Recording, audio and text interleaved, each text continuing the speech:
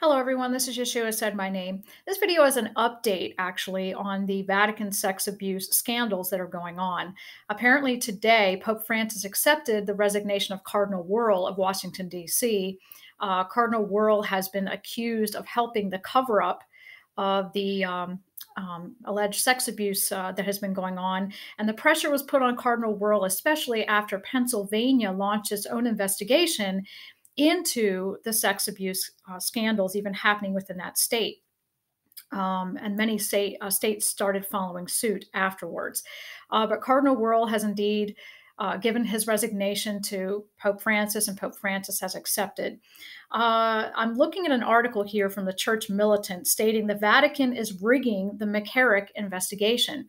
Now, it seems that the Vatican wants to accuse everyone else point the finger to everyone else, including blaming what they call the great accuser or Satan, instead of taking responsibility for the sins that are being committed the sins of homosexuality, the sins of pedophilia against our children. Um, so I'm getting this article from the Church Militant, and you can look this up. This was uh, brought out yesterday. Vatican rigging the McCarrick investigation. It says here Church Militant has learned that anti Vigano forces in the Vatican are rigging the upcoming papal investigation into the McCarrick situation in an effort to shield the homosexual network within the Vatican. The plan is to release a final report shifting as much blame as possible for McCarrick's rise to power onto Pope John Paul II. So now their strategy is to blame uh, Pope John Paul for the fact that McCarrick came to power in the first place and is now calling out the pedophilia and homosexuality within the church. The plan is to point what will be called the undue influence of a longtime female friend who herself had fallen victim, they say, to McCarrick's scheming, lavishing her with his charm and financial assistance in an effort to gain her confidence.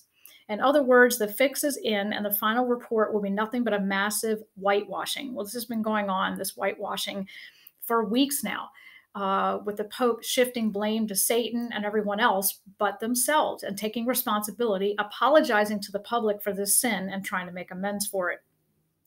So you can look up this uh, um, source yourself. This is on churchmilitant.com. It was released yesterday. Vatican rigging the McCarrick investigation. Uh, the resignation of Cardinal Wuerl, uh, in my opinion, uh, greatly emphasizes the the guilt of this man in helping to cover up what has been going on in the Vatican. Um, the scripture says, Be sure your sin will find you out. Now, this was an inspired word from the Holy Spirit. The Vatican is, is being found out.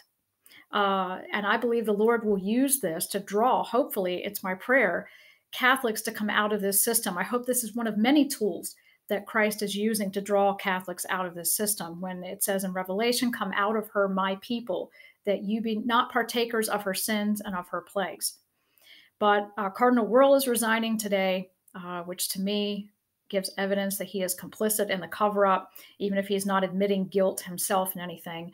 Um, and also now they are shifting blame to Pope John Paul for McCarrick's rise to power. So it's everyone else's fault, apparently. It's Satan, it's McCarrick, now it's Pope John Paul. Instead of claiming responsibility, apologizing, and owning up to the sin and the evil that is going on, we're going to shift blame to everyone else.